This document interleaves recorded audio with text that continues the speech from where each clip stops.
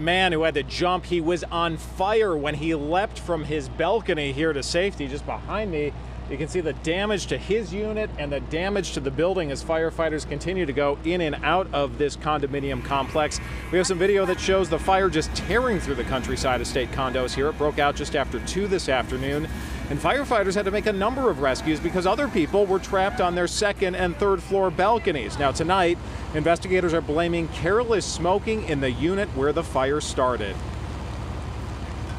Gentleman that had started the fire jumped off the deck on fire. My son pulled him out from underneath the deck, and I ran downstairs. It's the first floor, second floor, as far as I could get, banging on all the doors to see if anybody was still in there.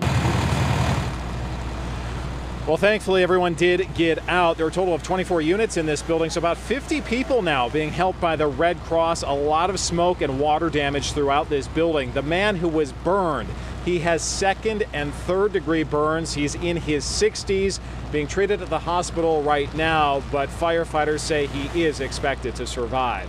We're live in Rutland tonight. John Atwater, WCVB News Center 5.